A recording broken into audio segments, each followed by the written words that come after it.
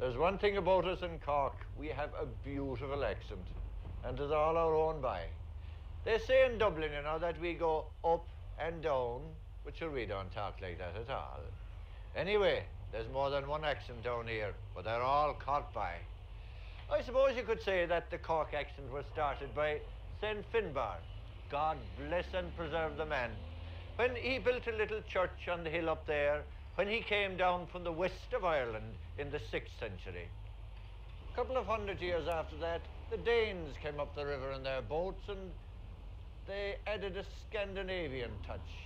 They built this little bit of a city over here, just in time for the Welsh Normans to come along and kick them out of it. The area still retains its old Irish names, yes? After that, the English would come over in the close season and knock themselves, and us, around a bit, and add their part to the vocal cocktail. Then in the 18th century, French people called Huguenots, or something like that, came and settled in the Marsh, or Colca area, here. The harsh, shrill part of our accent comes from them. Johnny, come in, blow beer, chair. Your guess is as good as mine, but it seems to be an invitation to young Johnny to come home and get his ears boxed. Oh, God be with the days of the Charles. On the other hand, there are the fruity tones of Montenotte. This accent probably originated in an effort to sound grand, in imitation of the social tones of the invaders. But by now, it has acquired a cadence which is all its own.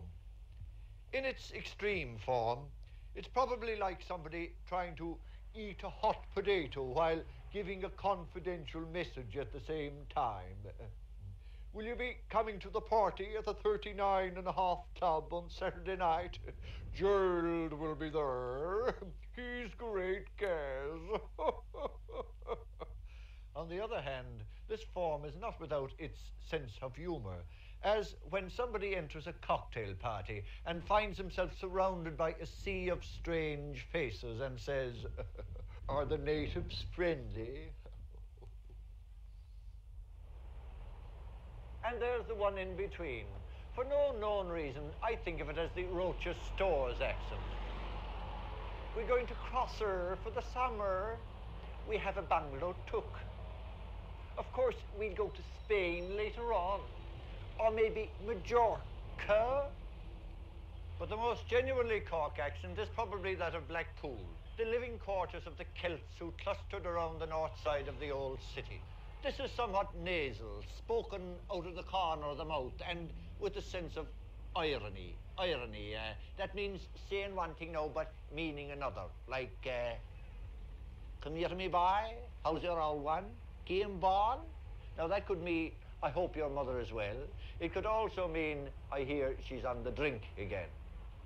If you want to hear the real thing, go to a Blackpool pub, but pick an old one with sawdust on the floor. You might even find yourself sharing a pint with our Taoiseach. If you do, you'll be as welcome as the flowers nearby. Except they don't come out for a few months yet. But Cork accents, there's no such a thing by.